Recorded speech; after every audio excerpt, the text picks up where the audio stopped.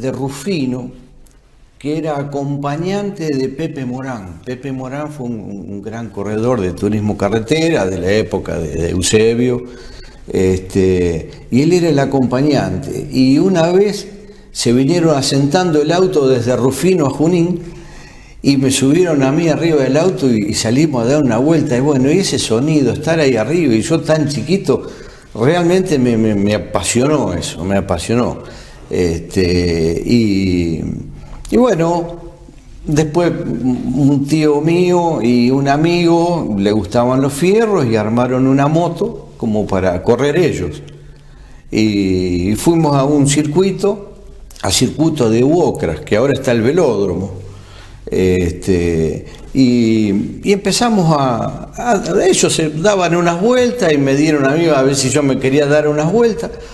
Resulta que eh, en un momento prueban los tiempos y yo estaba haciendo el mismo tiempo que estaba haciendo Juan José Raibet de Colón, que era el campeón de esa categoría de 50 centímetros en esa temporada. Dice, vos estás haciendo el mismo tiempo. No, tenés que correr vos la moto. Así que yo a escondida de mis viejos fue mi primer carrera con 13 años. ¿En dónde fue esa carrera? En la pista de Boca. Ah, ahí corriste. ¿Y cómo la, saliste? En la pista de Boca. Gané la serie y fui a la final y en la final venía segundo, atrás de Raibet.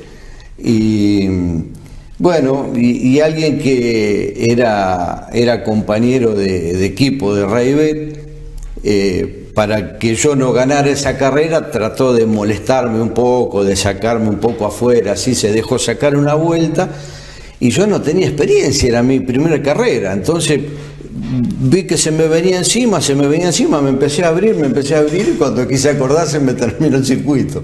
Este, así que tuve mi primer caída, ¿no? Este, que terminé contra el alambrado, con el público ahí. Este, y esa fue mi, debut. Y la verdad que, bueno, después tuve el aliento de toda la gente, era el más chiquitito de, de todos los que estaban corriendo en ese momento.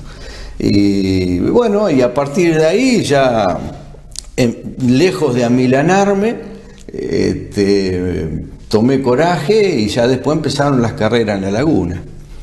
Y en esa época estaba Hugo Pardavila, eh, este, el, locutor y este, historiador de, del deporte, Junín, y él enseguida me llevó a la radio a LT20 y ahí ya me hizo un reportaje y ya me empezaron a dar una importancia. Y empezaste a ser más conocido. Y empecé a ser más conocido, ahí, ahí, se enteró mi vieja, te ah, se enteró por los diarios, por la televisión. Sí, sí, se enteró al, otro día también porque, claro, yo en la caída quedé todo rajuñado porque terminé al lado del alambrado de púa que había, viste, en, en el límite de la pista. ¿Y cómo siguió después tu carrera?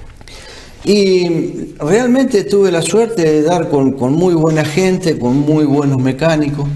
Y bueno, ya se armó una moto en serio, este, se armó un grupo que me ayudaron a comprarme el traje de cuero, el casco, las botas, los guantes, viste, todo.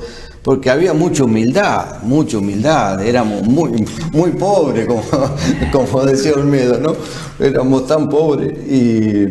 Entonces mm, se, fue haciendo más profesional la cosa. Entonces empecé a, se corría todos los domingos en la laguna. Y después me empezaron a invitar, este, se hacía un nocturno en Pergamino, este, en Venado Tuerto, y eso con la categoría chica, con 50. Y después, bueno, tuve la suerte que Rubén Carocio, este, también un gran amigo, él, tenía, eh, era como si fuera el jefe de un equipo y tenía una moto ya de 100 centímetros, la, grande, que eran los RF de esa época.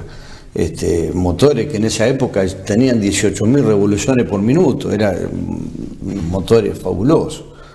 Y, y, bueno, y me dice, ¿te animás a correrla? Dice, pero lo único que tenés que estar este, en la punta. Dice, si vemos que no andás en la punta en las primeras carreras, se la vamos a tener que dar a otro la moto. Y bueno, tuve la suerte que en la primera carrera debuté en 100 centímetros y, y gané. Gané, gané la serie y la final acá en Junín. Y en esa época el que preparaba ese motor era Héctor Alfonso, que hace poco tiempo falleció, pobre, un gran amigo, un gran preparador, un- una excelente persona.